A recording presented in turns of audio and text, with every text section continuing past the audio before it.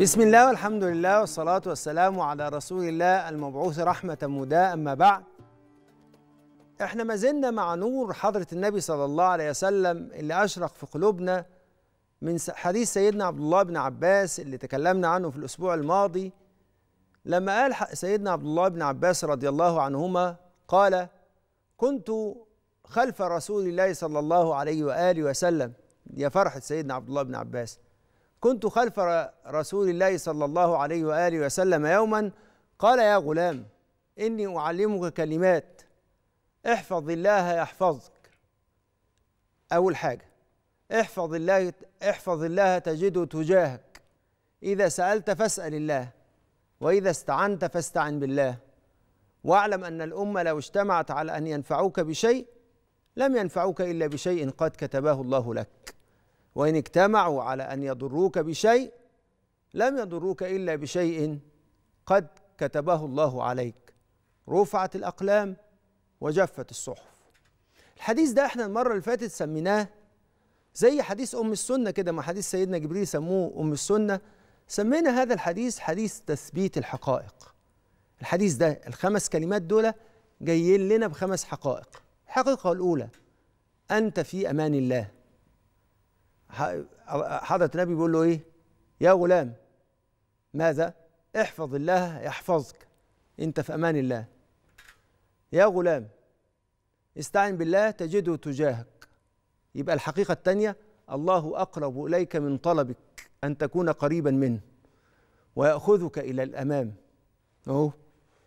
وإيه اللي حاصل؟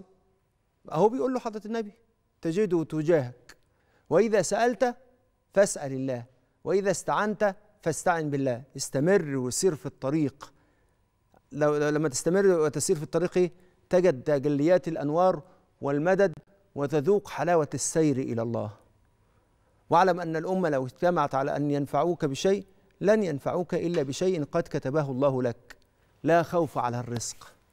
ولو أرادوا أن يضروك بشيء لن يضروك بشيء إلا بشيء قد كتبه الله عليك. لا حزن على ما فات. خلاص جفت الأقلام جفت الصحف ورفعت الأقلام. انتهت القصة. يبقى إيه اللي حاصل؟ يبقى الحقائق دي حقائق.